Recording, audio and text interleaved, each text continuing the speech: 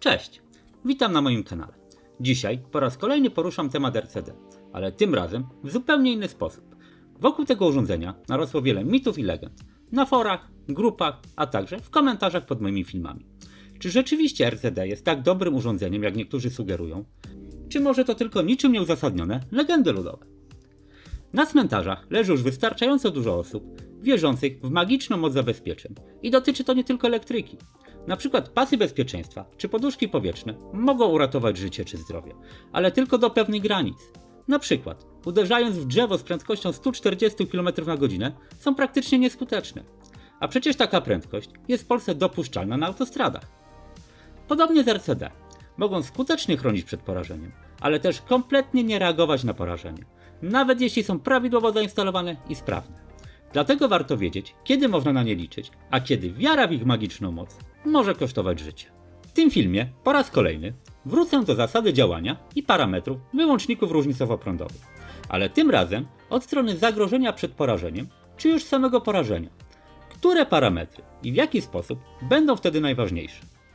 Pokażę, kiedy różnicówki mogą chronić, a kiedy nie, a szczególnie w jakich sytuacjach instalacjach RCD nie chroni. Omówię, co się dzieje z ciałem ludzkim w trakcie porażenia i jak się to ma do działania RCD. Wyjaśni się też, dlaczego normy i rozporządzenie mówią wyraźnie o ochronie przed porażeniem, a nie w trakcie czy po porażeniu. Omówię też, od czego zależą skutki porażenia i co za tym idzie, w jaki sposób można poprawić ochronę przed porażeniem, często w bardzo prosty sposób, także w starych instalacjach. No to zaczynamy. Jak działa RCT już omawiałem, więc tylko w skrócie i w uproszczeniu. Można to porównać do stycznika sterowanego przez urządzenie wykrywające potencjalne lub rzeczywiste zagrożenie. Jeśli zostanie wykryte zagrożenie, RCD rozłączy styki i odłączy zasilanie obwodu. Na jakiej zasadzie działa to monitorowanie? Tu pojawia się pierwszy ważny parametr prąd różnicowy. Jeśli taki sam prąd wypływa z RCD i taki sam wpływa, czyli wraca z powrotem, to prąd różnicowy jest równy 0. Nie ma upływu poza obwód. RCD uznaje, że wszystko jest w porządku. I tu mamy słabą stronę RCD. Jeśli dotkniemy jednocześnie przewodu fazowego i neutralnego, zerowego czy neutralno-ochronnego, przez nasze ciało popłynie prąd. Dojdzie do porażenia. A dla RCD prąd wypływający i wracający będzie taki sam. Nie będzie prądu różnicowego. Nie odłączy on zasilania. Będzie nas traktował jak odbiornik i cały czas zasilał. W takim przypadku praktycznie nie ma żadnej ochrony. Natomiast jeśli prąd wypłynie poza obwód, np. do ziemi czy przewodu ochronnego i ten prąd będzie odpowiednio duży, RCD potraktuje to jak usterkę i zareaguje, odłączając zasilanie. Dla RCD nie będzie miało znaczenia, czy upływ poza obwód będzie np. przez uszkodzoną izolację, czy przez ciało człowieka.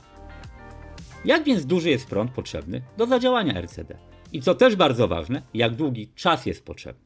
Na ekranie przykładowe charakterystyki czasowo-prądowe. Wysokoczułe RCD, czyli te najpopularniejsze w domach i mieszkaniach, mają prąd różnicowy określony na 30 mA. W praktyce zadziałają przy prądzie różnicowym większym niż połowa tego prądu i mniejszym niż ten prąd. Czyli RCD rozłączy obwód, jeśli różnica pomiędzy prądem wypływającym a wracającym wyniesie pomiędzy 15 a 30 mA, zależnie od konkretnego egzemplarza. Taki prąd jest uznawany za bezpieczny w większości przypadków.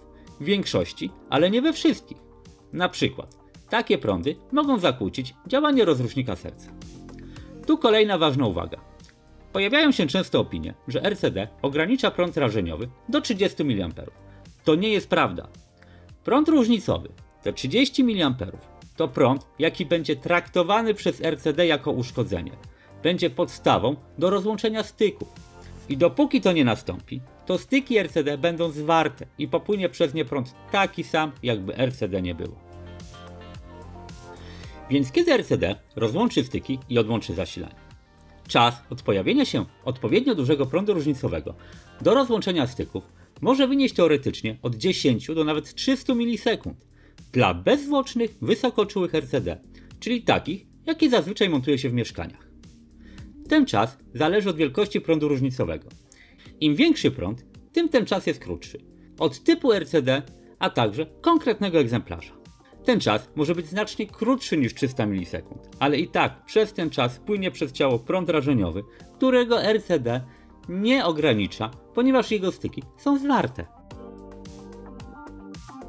Biorąc pod uwagę częstotliwość prądu 50 Hz, okres wynosi 20 milisekund, a jedna połówka 10 milisekund.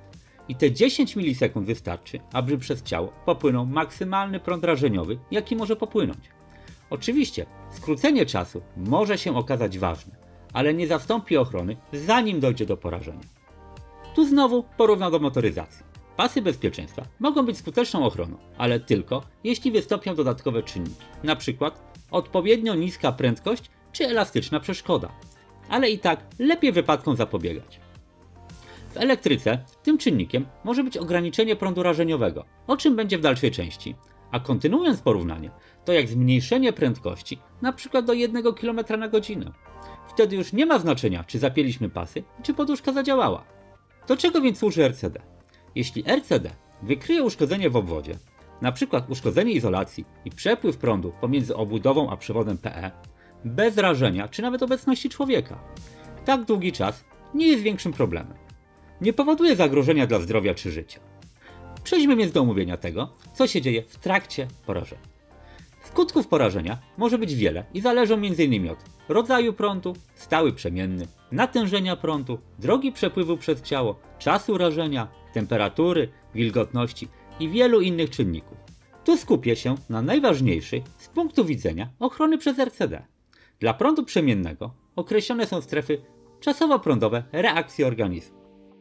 W strefie AC1, zaznaczonej na zielono, praktycznie nie ma trwałych skutków, a raczej nieprzyjemne odczucia. To prąd o natężeniu do 0,5 mA. Strefa AC2, kolor żółty. Tu nieprzyjemne odczucia się nasilają oraz pojawiają się skurcze mięśni. Za granicę samouwolnienia przyjmuje się 10 mA dla mężczyzn i 6 mA dla kobiet. To znacznie mniej niż najniższy próg wykrywania przez RCD, który wynosi od 15 do 30 mA dla wysokoczułych RCD. Możemy być rażeni, a nasze mięśnie będą zaciśnięte bez możliwości uwolnienia, a RCD nie zadziała. I to w sprawnej, prawidłowo wykonanej, zgodnej z obecnie obowiązującymi przepisami instalacji. Dalej mamy strefę AC3, na pomarańczowo. Przy teoretycznie dłuższym czasie, rzędu tylko 2 sekund i natężeniu prądu tylko 10 mA, zobaczcie o jak krótkim czasie i małym prądzie mówimy. Mogą już pojawić się skutki takie jak wzrost ciśnienia krwi, skurcze mięśni, w tym oddechowych, co może doprowadzić do niedotlenienia, a nawet zakłócenia pracy serca, fibrylacji komór, która może doprowadzić do śmierci. A co z RCD? Przy prądzie różnicowym 10 mA nie zadziała, nie odłączy zasilania i nie ochroni. Dalej mamy strefę AC4, nie bez powodu na czerwono, gdzie nasilają się skutki i rośnie prawdopodobieństwo fibrylacji komór sercowych. Linia AC44 to ponad 50% prawdopodobieństwo fibrylacji komór. Natężenie prądu różnicowego, jak dla strefy AC4, już powinno spowodować zadziałanie RCD. Ale tu warto zwrócić uwagę na czas zadziałania. To może być nawet 300 milisekund. Spójrzmy na wykres. To ta linia, bardzo wysoko. To, co widzimy pod tą linią, zaznaczone na czerwono, może się wydarzyć przy sprawnym, poprawnie zamontowanym RCD, zarówno w TT, jak i w TNCS, czy w TNC, czy starej pozaklasowej instalacji. A to, co dokładnie może się wydarzyć, to zależy od tego, jak duży prąd popłynie. A to już jest niezależne od RCD, bo RCD nie ogranicza prądu rażenia. Do czasu odłączenia zasilania jego styki są zwarte i płynie prąd o takim samym natężeniu, jakby RCD nie było. Natomiast jeśli inny czynnik, o którym będzie mowa w dalszej części, uratuje nasze życie, a przy okazji zadziała RCD, to możemy odnieść mylne wrażenie, że to zasługa RCD. I tak właśnie mogą powstawać legendy o skuteczności RCD przy porażeniu. Głównie długi czas reakcji sprawia, że RCD nie jest uznawany za ochronę w trakcie porażenia. Służy do ochrony przed porażeniem, do zapobiegania porażeniu. Jeśli dojdzie do porażenia i popłynie odpowiednio duży prąd rażeniowy, to RCD może zadziałać za późno, już po zgonie. Chyba, że coś innego znacznie ograniczy ten prąd. To wtedy, nawet bez RCD, mamy szansę na jedynie drobne nieprzyjemności, a może i przyjemności. Na przykład połaskotanie. To już zależy, co kto lubi. Ale o tym też będzie w dalszej części. Jak więc działa ochrona przed porażeniem, czyli zapobieganie porażeniu? Obudowy urządzeń w pierwszej klasie ochronności, dla przykładu często wspominana pralka, czy elementy przewodzące są łączone przewodem ochronnym. Jeśli pojawia się tam niebezpieczne napięcie na obudowie, to przez przewód ochronny płynie prąd. Dla RCD będzie to już prąd różnicowy i przy odpowiednio dużym natężeniu tego prądu RCD odłączy zasilanie.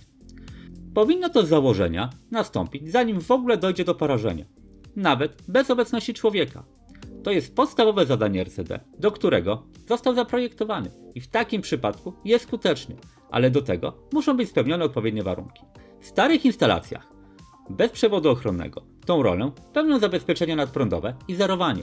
W przypadku takiej usterki zerowanie powoduje zwarcie i zadziałanie wyłącznika nadprądowego. Więcej na ten temat w filmie o starych instalacjach. W nowych instalacjach TNCS nadprądowe nadal pełnią taką rolę, ale zamiast zerowania wykorzystywany jest przewód ochronny, więc za ochronę przed porażeniem odpowiadają dwa urządzenia: wyłącznik nadprądowy i wyłącznik różnicowo-prądowy. Natomiast TT stosuje się dwa wyłączniki RCD, jeden selektywny, ale o tym też jest osobny film na kanale, o układach sieci. A co jeśli ochrona przed nie zadziała lub nie ma RCD i dojdzie do porażenia? I tu dochodzimy do bardzo ważnej kwestii. Od czego prąd rażeniowy będzie zależał? Niektóre czynniki są związane z organizmem człowieka, np. rezystancja ciała. Jeśli prąd będzie przepływał pomiędzy fazą a neutralnym, ochronno-neutralnym czy zerowym, to ciało jest odbiornikiem i nie ma żadnych zabezpieczeń. A jeśli będzie przepływał do Ziemi, pozostałe czynniki to rezystancja na drodze prądu. Dodając te rezystancje, rezystancję ciała i rezystancję do Ziemi z prawa OMA, możemy obliczyć prąd rażeniowy. Upraszczając, istotną kwestią jest właśnie izolacja. Aby prąd popłynął, w tym prąd rażeniowy, potrzebny jest zamknięty obwód. Jeśli obwód nie będzie zamknięty, prąd nie popłynie, a porażenia nie będzie. Albo wysoka rezystancja na drodze przepływu prądu sprawi, że ten prąd będzie na tyle mały, że nie będzie stanowił zagrożenia. I właśnie o tym czynniku wcześniej kilkukrotnie wspominałem. To jak zmniejszenie prędkości uderzenia samochodem w przeszkodę do bezpieczniej, na przykład 1 km na godzinę. Na tej zasadzie działają stanowiska izolowane, ale rozejrzyjcie się po waszych mieszkaniach. Pomyślcie jak, a raczej którędy prąd rażeniowy mógłby popłynąć. Podłoga raczej nie przewodzi prądu. Ściany też. W komentarzach pojawiły się takie elementy jak na przykład pralka, wanna, baterie, kaloryfery. Ale poza bateriami te urządzenia zazwyczaj są pokryte farbą. Zobaczcie, jak to wpływa na izolację. Pomiar przy 1000 V. Na przykład przypadku baterii i uziemionej przewodzącej instalacji wodnej, np. stalowej, można zastosować nieprzewodzące złączki, np. pomiędzy wężykami a instalacją. Pojawił się ten przykład rury CO, miedzianej, uziemionej. Co można zrobić? Nie dotykać, jeśli trzyma się jednocześnie przewód fazowy. A tak poważniej? Można to zabezpieczyć, zabudować, pomalować, nawet lakierem bezbarwnym, jeśli to jest część wystroju. Proste i całkiem skuteczne rozwiązanie. Ten sposób możemy zwiększyć bezpieczeństwo przez zmniejszenie lub wyeliminowanie ewentualnego prądu rażeniowego. Często widzi się stosowanie drogich i skomplikowanych urządzeń, a zapomina o prostych rozwiązaniach, nie mniej, a może nawet bardziej skutecznych. A właśnie takie rozwiązania mogą być bardzo skuteczne, szczególnie w starych instalacjach, bez osobnego przewodu ochronnego, gdzie nie ma RCD, a nawet gdyby był, to nie miałby warunków do skutecznej ochrony przed porażeniem, a skuteczność w trakcie porażenia już omawiałem. Odłączenie prądu już po zgonie wpływa na rachunek, w końcu prąd rażeniowy też kosztuje. Ale czy to ma jakieś znaczenie dla porażonego? Kolejna ważna kwestia. Stan techniczny instalacji i urządzeń oraz używanie ich zgodnie z przeznaczeniem i wytycznymi producenta. Na przykład uszkodzona izolacja urządzeń czy przewodów może być przyczyną porażenia. Zaniedbania w tym zakresie mogą kosztować życie. I na koniec uniwersalna metoda. Ważna w wielu dziedzinach życia. Zdrowy rozsądek, podstawowa ostrożność i ograniczone zaufanie do urządzeń mających nas chronić. Pamiętajmy, nie ma w 100% skutecznych środków ochrony ani przed porażeniem, ani przed innymi wypadkami. RCD może być bardzo skuteczną ochroną, ale nie w każdym przypadku. Ma zapobiegać, chronić przed porażeniem i o tym warto pamiętać. Jeśli macie pytania, zapraszam do dyskusji w komentarzach. Ja już dziękuję za uwagę, życzę bezpiecznego korzystania z instalacji i do zobaczenia.